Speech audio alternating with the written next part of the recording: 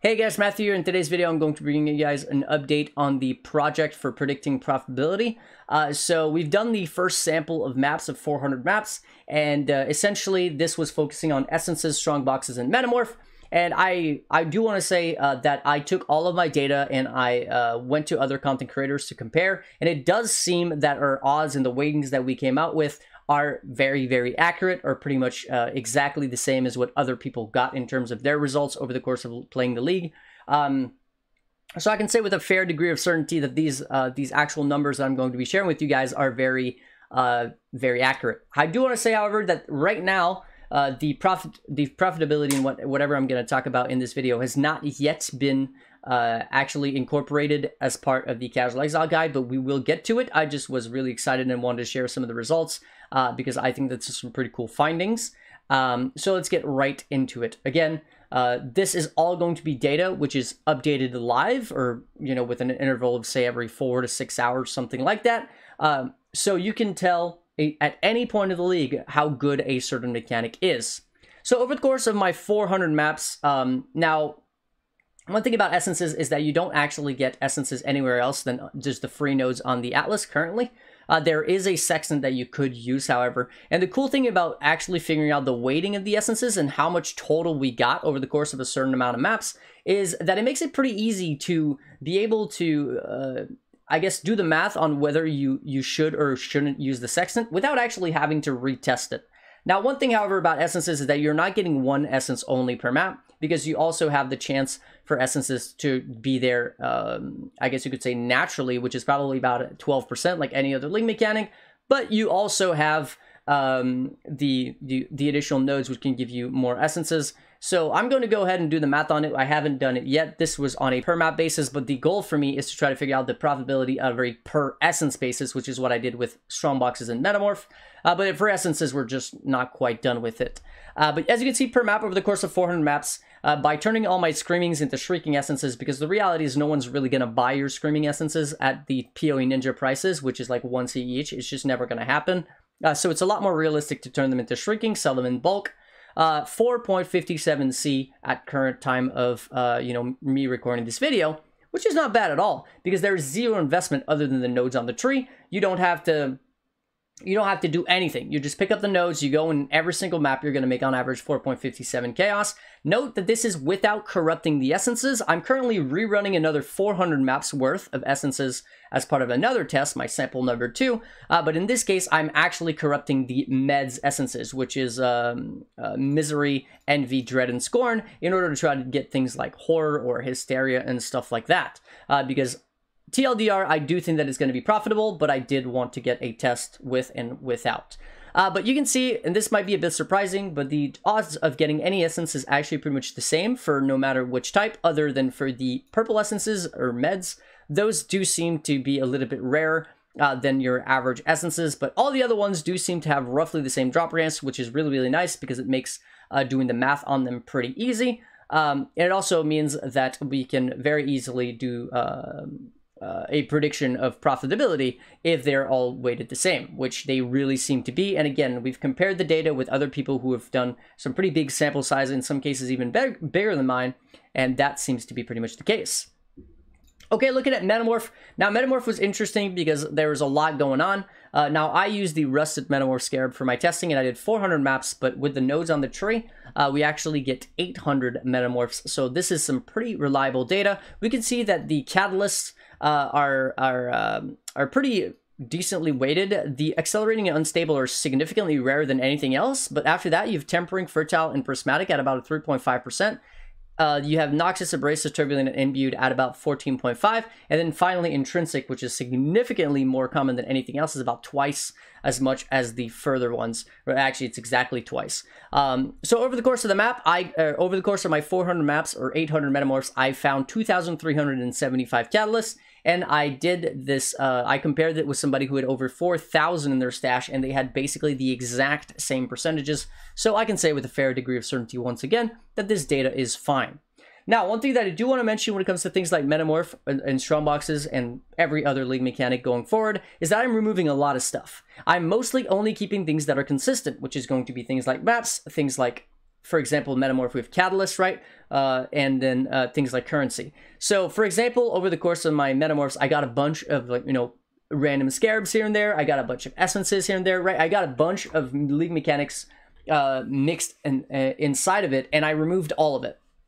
Now, by removing all of it, it does make the, the, the mechanic itself seem worse than it is, but what it does do is it adds consistency. And I'd rather showcase the numbers to you guys and be like, this is the bare minimum that you can expect. It's going to be more because it doesn't include anything else that you could possibly get from the rewards, right? Like essences, like scarabs, um, like anything like that. It's all excluded, uniques as well, all excluded, all of it.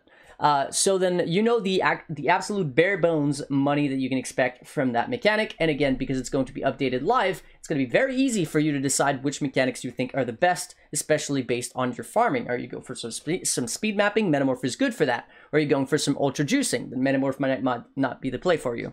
But anyways, looking at the, the data per per cat, uh, per metamorph, right? So we have two in each map. We are making a two chaos uh, or just about two chaos per metamorph killed, and this is from the catalyst alone uh, for a total of four chaos per map.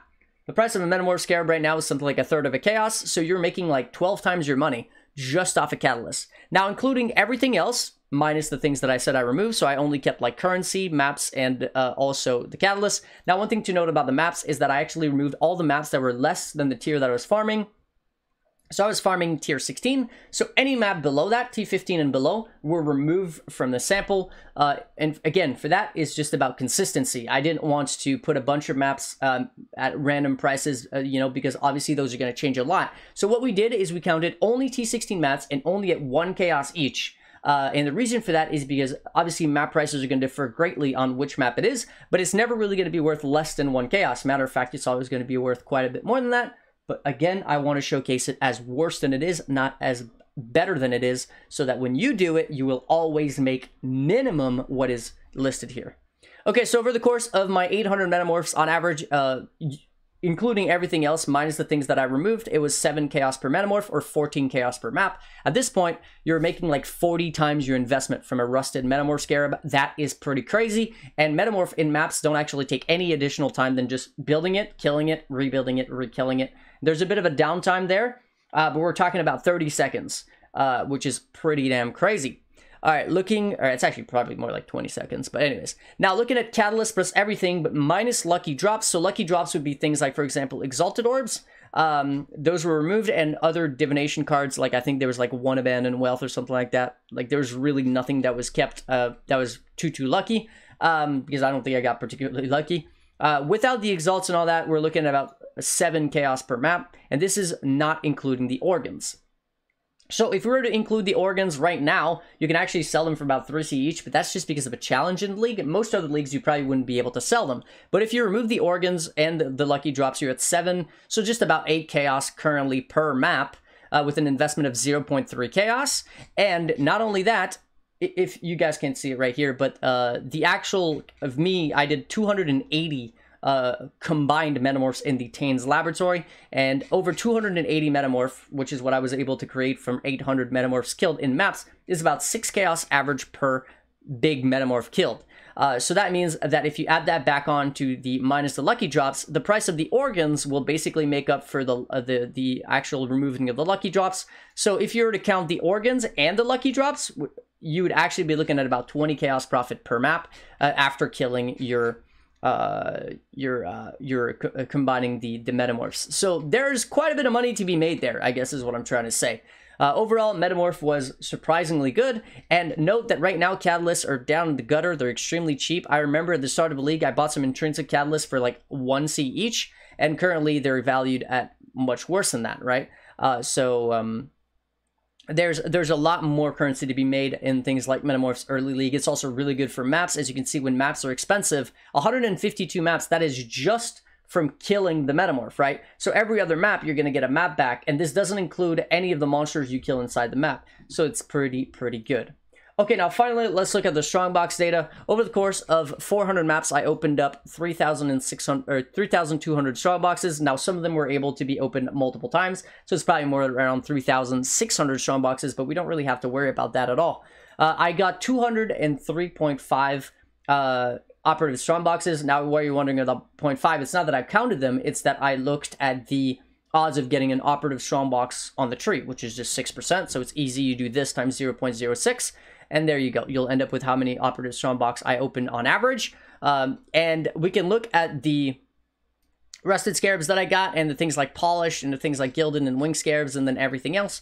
Overall, it came out to be, uh, I'm sure you can see at the bottom here, it came out to be that on average per map, I was making 19.63 chaos worth of, uh, of money from uh, scarabs, or sorry, from strong boxes, and I was investing 7 chaos, so I was roughly just about tripling my money. Now, the operative strong boxes on average were netting me about 39 chaos every time I would encounter one of them. So you can see that there is quite a bit of money to be made from the actual operative strong boxes. They drop a ton of gilded, not many wings, but a lot of polish and a lot of gilded. Note that in this data here, we have used, uh, we have removed all of the bad stuff. So for example, Rusted Bestiary Scarab, Rusted Elder, Rusted. We actually remove them from the data set just because they're worthless. However, in a league start scenario, potentially some of these could be worth. It's very easy for me to go ahead and just remove this bad that you can see here, and all of a sudden they would be activated again. Uh, so in a league start scenario, it's possible that we'll have to edit some of this by just well, deleting bad, and all of, a, all of a sudden it'll be back in the calculations. Uh, so it's the same thing for essences. Uh, for example, actually not essences because we we made them all shrieking, but it's the same thing. For example, the catalyst, as you can see, we we wrote bad for imbued because nobody ever buys imbued. Um, so because of that, you know, we only kept the ones that we consider sellable, and this is based on experience, right? My experience. Uh, but per strongbox that you click in a map right now, it's 2.45 chaos, which is not bad at all, uh, considering, you know, it takes two seconds to actually click a, star, a strong box. And per operatives that you'll click, so every 6% chance, uh, it'll be about 40 chaos worth of value. So this is pretty much how we're going about it. Uh, you know, right now I'm doing essences, but with corrupting of the nodes. I'm also doing heists. Uh, I'm picking up all the stuff for heist basically from the uh, utilizing the sextant that guarantees it, but also I'm also picking up the stuff from heist that's not from the sextant. So I'll be able to uh, look at if I had the heist nodes on the tree, but I didn't have the sextant, how much money can I expect to make out of those nodes? And if I had the heist nodes on the tree and I'm using the sextant, how much money can I expect to make? So basically, is it worth to use the sextant? I'm doing Harbinger with the Sextant, and I'm going to do another set without the Sextant. Um, but overall, pretty much everything that I've tested so far has been pretty good. Over the course of my 400 maps from this test, I made over 200 Exalt profit, uh, and that was without picking up anything that wasn't from the three league mechanics that I just mentioned, strong boxes, metamorph, and essences, right? Nothing else was picked up in the map. If a regular monster was dropping me like a chaos, I would just leave it on the ground. Uh, so you can expect to make quite a bit of money, and this was super, super easy, right? We're talking about strong boxes, doesn't add any difficulty to your map. Metamorphs are actually a little bit annoying, but once you get to the end game, they're pretty easy. It's just while while you progress that they're pretty annoying. Uh, and then essences are very easy as well. So I can't wait to actually uh, implement this in the Casual Exile document so you guys can see in real time how much you can expect to make on a per mechanic basis. So on a per strongbox, on a per metamorph, on a per, uh, you know, uh, per harbinger, per this, per that, whatever it may be. Uh, so I hope you guys are as excited as I am about this project. Uh, we're going to keep going forward. I'll keep updating you guys once in a while over how things are going and the data sets that we're running. Um, but yeah, that's going to be pretty much it for this video. Before I go, as always, do want to say a huge thank you to my supporters, so Risk Brandon, welcome back, Thomas Maas, uh, Nate the Great Master, Alex, Tim, Mercury, Johnny, as well as Navgar, Solomon, Exo, Jericosta, and Bizen. Anybody else who has supported me in the past, anyone else who wishes to remain anonymous. Again, huge thank you guys for the support, and I'll catch you guys in the next one. Peace.